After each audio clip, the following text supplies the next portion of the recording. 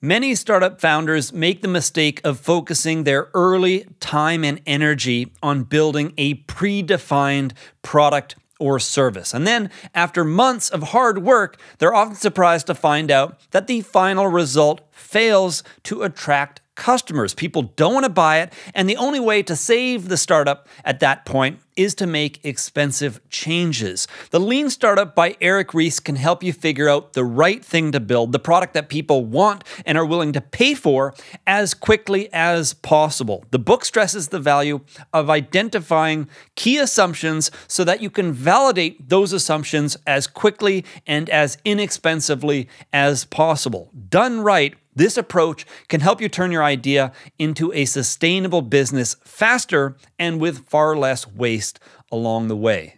Subscribe to my updates to discover the best books for entrepreneurs.